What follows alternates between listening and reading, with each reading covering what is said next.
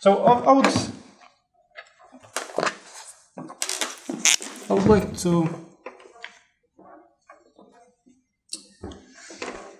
to compare that problem to the problem of finding distance between skew lines. So uh, for the distance between skew lines, we know how to find it.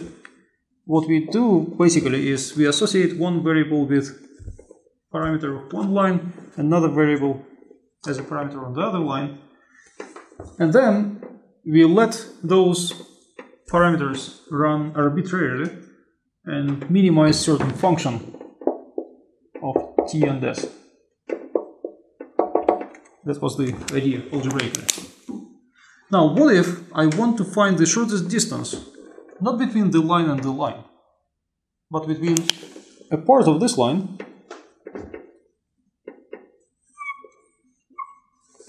and a part of that line? Is that a reasonable question? I have a straight line segment here in 3 space, a straight line segment there in 3 space, and I want to find the shortest distance between those two. So how would that question change the algebraic setup? Well, the setup is that the condition being here on the segment provides restriction on t. t is allowed to take values only within this interval, which is kind of analog of calculus 1 abstraction. Right? So now, instead of looking at the function on the whole plane st, now you're looking at the coordinate plane st because st are variables.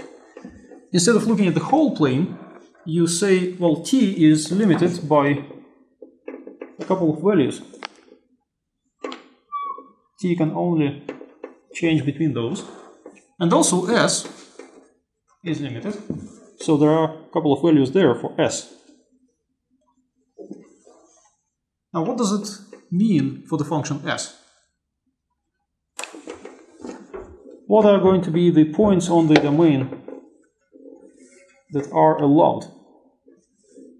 Well, being, well, t being between these two means all the points in this strip are allowed, right?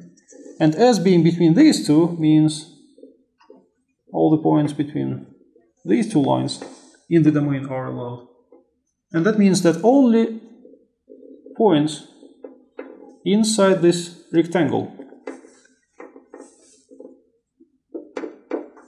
are allowed. It is only when one point is here and the other is there simultaneously. So that means for the function f, we have to limit f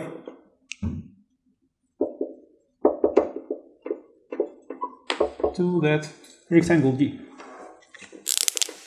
And the real question is, well, find minimum on that And the procedure is as I described. So you find the critical points inside, minimize on the boundary, and that minimization of the boundary is the whole process. But what can you do?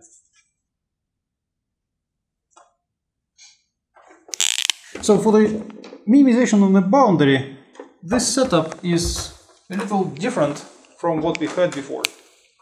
Because in the previous setup, the curve was given. So, do you remember how the curve was given for that problem? When you had to find the value uh, minimum of function on the curve. The curve was given like an ellipse, for example, parametrically. Or as a curve satisfying an equation. Now, can you think of an equation for the rectangle? Do you know the, an equation on S and T, so-called G? G of ST, so that G of ST equals 0 describes exactly the perimeter of that rectangle. Well, that would be hard to think about. And that curve, the problem about that curve is that that curve will not be linearizable at the corners. Even if you figure out the equation, you will not be able to follow the calculus procedure because of those exceptional corners. So that is impossible. So you have to parameterize. Can you parameterize? Well, can you think of the boundary of D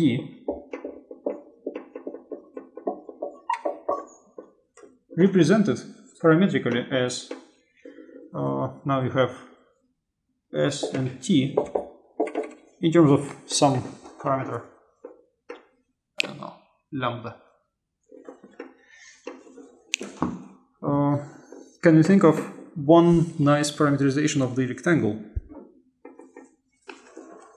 Well, again, there is no nice one nice parameterization, because whatever it is, it should make this corner, and making the corner makes it non-differentiable. And again, the procedure will fail from calculus point of view. So what you can only do is you can parameterize a part of the boundary. One side.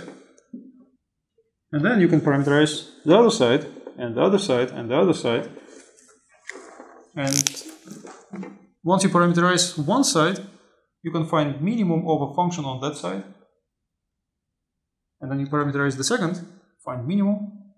The third, find minimum. The fourth, find minimum.